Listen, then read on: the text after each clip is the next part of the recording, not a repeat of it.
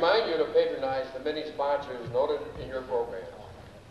Tell them you heard about their organization during the show. We invite any interested men in the audience to join us any Wednesday evening at 7.30 at the United uh, Church of uh, Fayetteville, 310 East Genesee Street. Ladies, remember there are also Sweet Adeline groups in the area. Now, I'd like to uh, bring the, uh,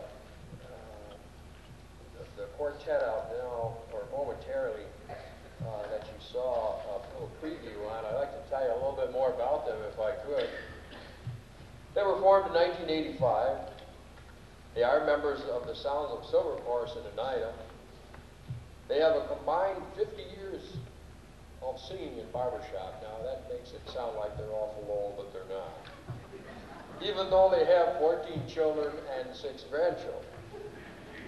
Now, here's the interesting part. I'm sure I'd like to get together with them because I think they could help me out. There's two teachers, one nurse, and one uh, receptionist. And here's something else. I'd have to travel little bit if they did. They're from Syracuse, Canastota, Nina, and Hamilton. I'd like to have you give a warm welcome to the Silver Edition.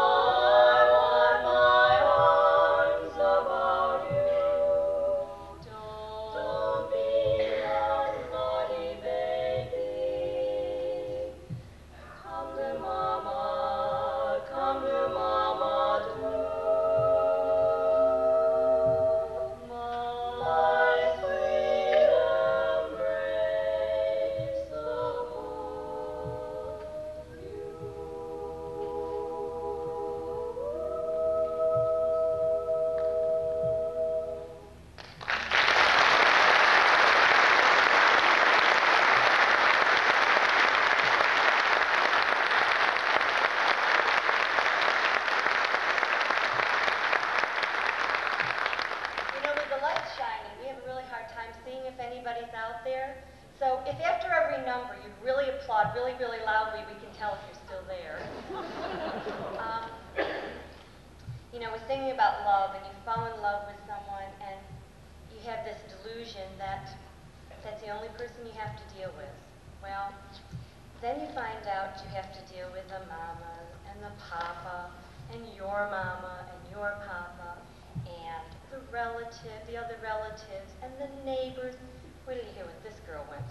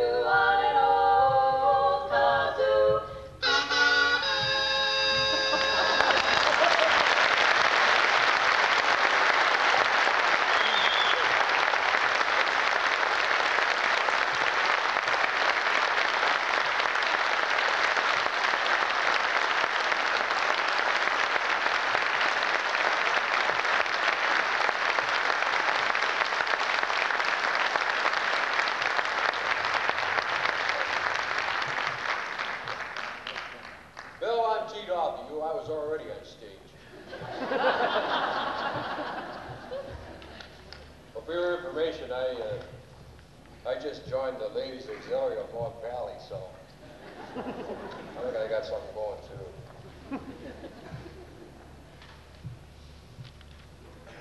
Okay, we've got more.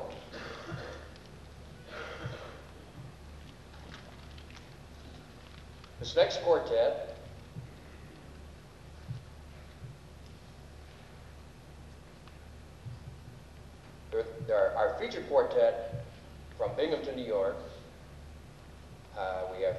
engineers and a mailman. Yeah, they probably could help me too. Who formed this quartet in April of 1989. In September of that year in Watertown, they scored higher than all quartets to become the new district championship quartet for that year. They haven't been in quartetting that long, but I think you're going to be surprised when you hear them if you haven't already ladies and gentlemen, give a warm welcome to tonight's headline quartet, the Trademark.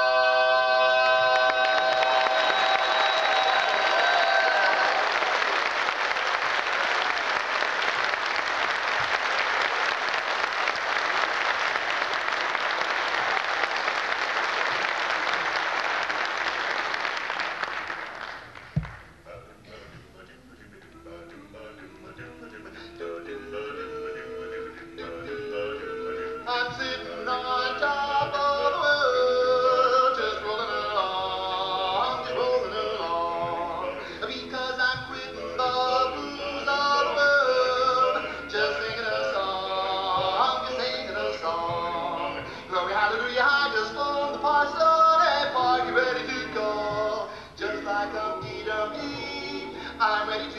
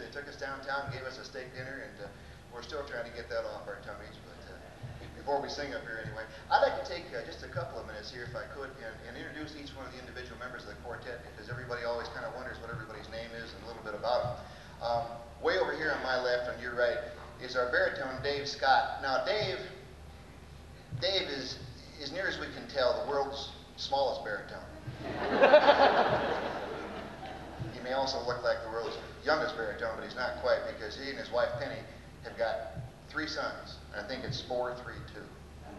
Three of them. They, they, they have figured that out now, though. and uh, over here right beside Dave is, uh, is our bass man, Mike Esposito. And uh, Mike is married to Barb, and Mike and Barb have five children.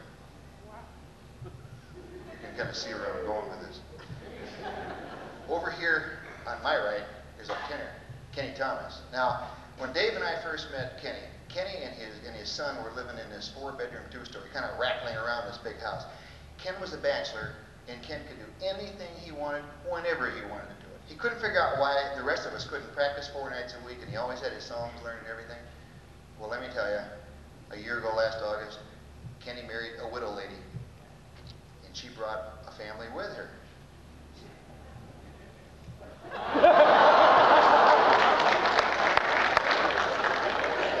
Ken has very little time these days. you know, you know when the guys ask me to do this, they say, "Why don't you make up some funny stuff about us?" Because I remember one year in Binghamton, we had a quartet come there, and their guy went to the microphone. He says, "Our baritone's from Buffalo. The rest of us are from regular parents." Now, now, now he had to make that up, but I didn't have to make this stuff up. I'm Tom Glossick. I sing the melody part, and uh, and uh, I, I, married off two of my three kids this year, and uh, we had the other one halfway through college, and my wife and I are in this very happy state of life called DINKS. You know what DINKS are? D-I-N-K. It stands for double income, no kids. More than me. so, we'd like to uh, we'd like to sing a song for you now, a ballad that's uh, that's about a man who's who's finally reaching that certain stage in his life when he when he realizes he's not a kid anymore, and he's kind of wondering where did the time go. Ladies and gentlemen, I hope you enjoy The Little Boy I Used to Be.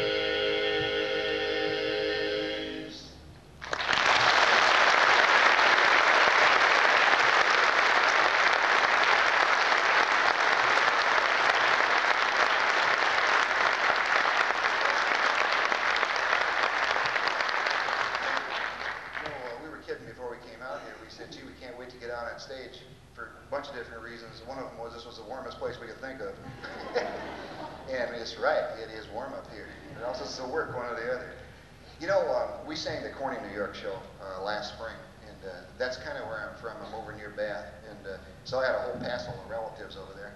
And one of my passel was, was my, my doctor uncle. Anybody here got a, got a doctor for a relative?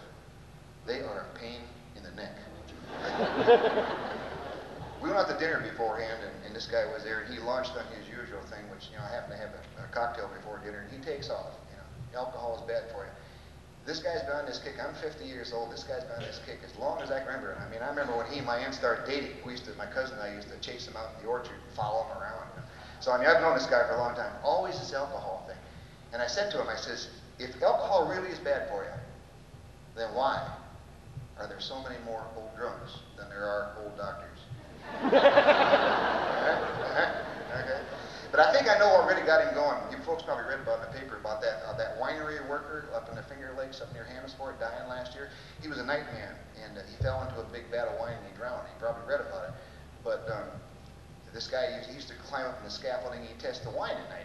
And the next day, a couple of the workers were talking about it, and they said, "Gee, isn't it terrible about Ralph? You know, he, he worked here for 30 years." And the guy said, "Yeah, it's terrible. And, you know, he fell in the wine and drowned. There was nobody else here." The guy "Yeah, that's awful." You know, he says, "The poor guy." He says, uh, "You know, he must have walked that scaffolding a thousand times." Yeah. He said, "Never stood a chance." And the other guy says, "Well, I wouldn't say that." He says, "Well, what do you mean?" He says, "You're all by himself. He fell in. How can you say he never stood a chance?" He said, "You know, he said I wouldn't say that." He says, "Well," he says, "Why would you not say he never stood a chance?" He says, "Well, for one thing," he says. He got out twice to go to the bathroom.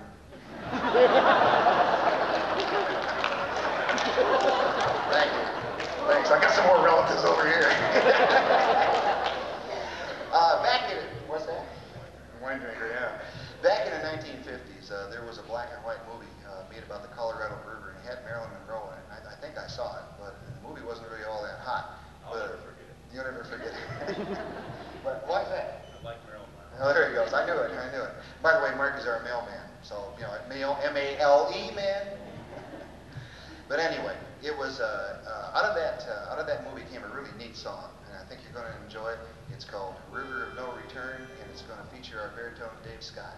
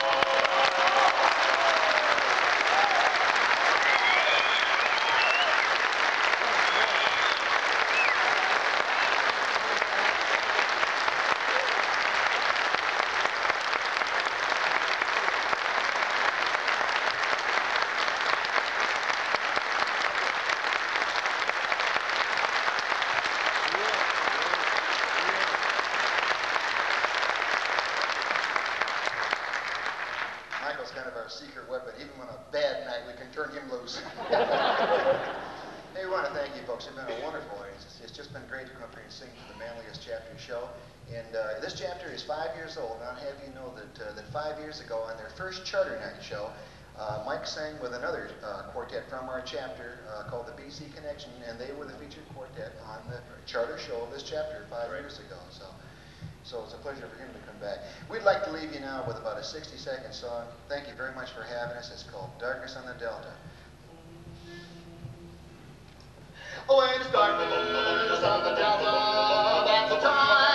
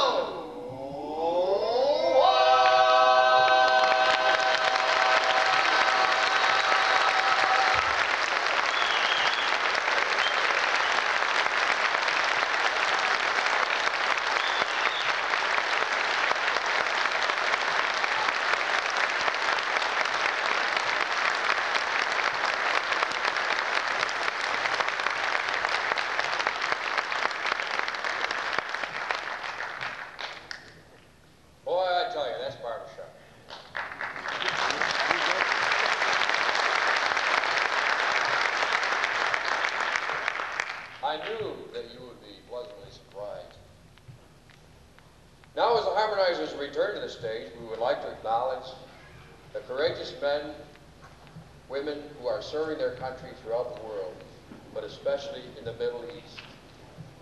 We sing for them too. We also give our thanks to the many individuals who made this evening possible.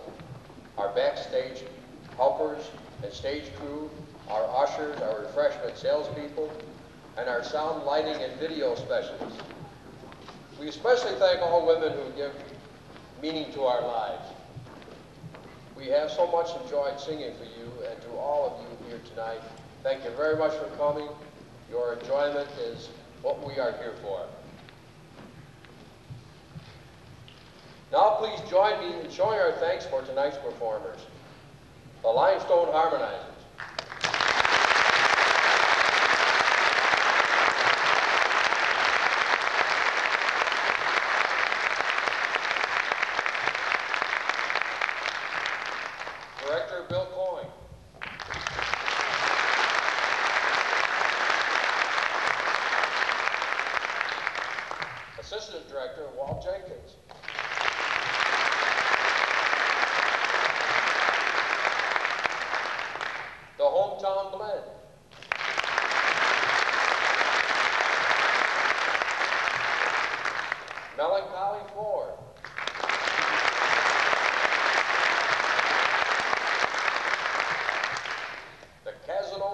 Casanova Connection.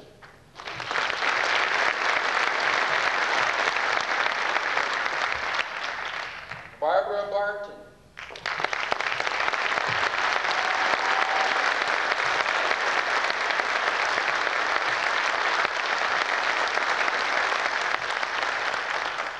The Silver Edition.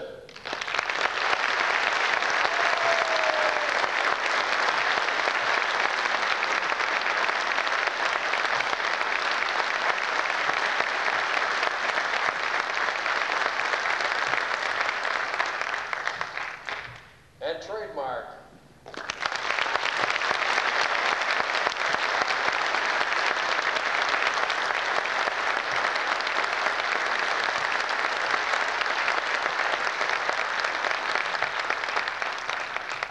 We conclude our show in a very traditional way by singing what we sing to conclude, conclude each weekly meeting.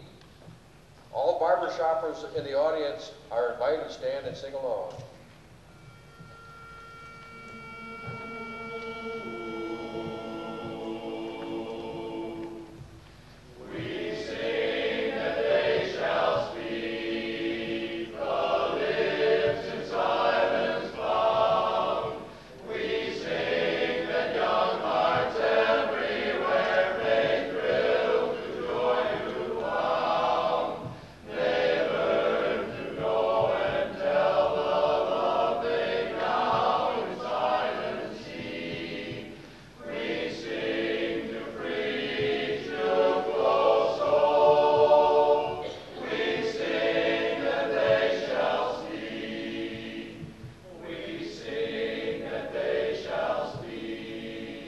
Great heartland of our continent, in Wichita, Kansas, stands the Institute of Logopedics, where each day a battle is being fought against the afflictions that inhibit normal speech. There are many, and one in ten children is affected. The Society for the Preservation and Encouragement of Barbershop Quartet Singing in America, 38,000 members strong, is proud to adopt this institute as its international service project. Across the length and breadth of North America, our voices are raised in song